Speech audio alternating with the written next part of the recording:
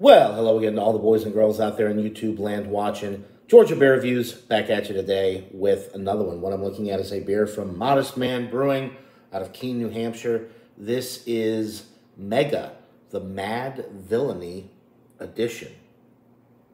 Clocks in at 8.5% alcohol by volume. Thank you to Bumpy Road Brews for this can. I really appreciate it. Link to his channel in the description below. If you haven't already checked him out, please go do so. Chances are you've seen him on my channel with uh, some of the reviews that we've done together, live streams over the years. Anyway, appreciate it, Bumpy. Uh, it's a double IPA, yeah, 8.5%. They use Citra, Mosaic, and Simcoe hops. It gives some tasting notes. We won't get into that. We'll determine that on our own. Uh, that's all the information I've got. So, Modest Man makes some really incredible, juicy IPAs.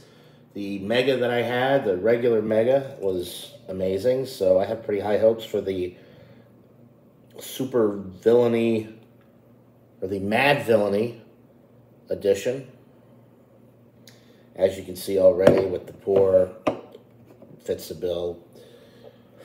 Nice bright orange, murky pretty much opaque, can't see through it. Appearance, finger and a half's worth of a relatively creamy looking white head. Oh yeah, smells um, very citrus forward.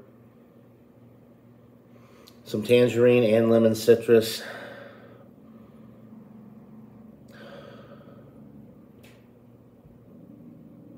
Touch of pineapple. A little bit of a bready malt note. No alcohol at 8.5. Little grapefruit. That's pretty much all I'm getting. It smells really nice. So without further ado, let's get into this brew. Cheers.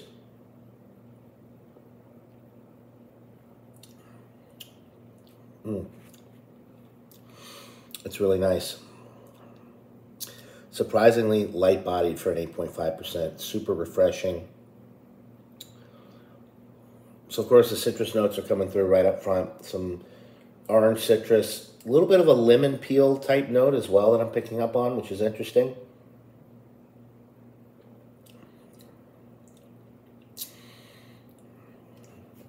A little pineapple, but something else in there too. I think maybe papaya, passion fruit there's some other kind of, you know, tropical exotic fruit in there. I'm having a hard time placing. Just for the sake of it here, we'll look at the, uh, the label. Lush citrus, yes. Ripe passion fruit. So that's, I guess that's what I'm getting. Delicate spice. Okay. So passion fruit, yeah. Definitely getting that.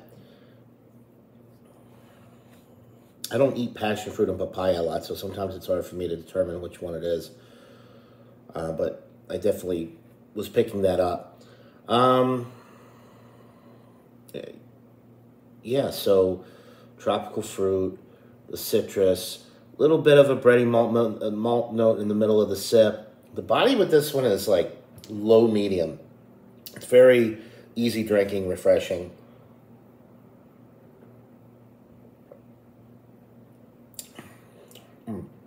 Carbonation is on the medium side, nice prickly carbonation. And the finish is juicy. It's juicy throughout, juicy on the finish. No alcohol presence, 8.5%, it's getting up there. Really smooth all the way through.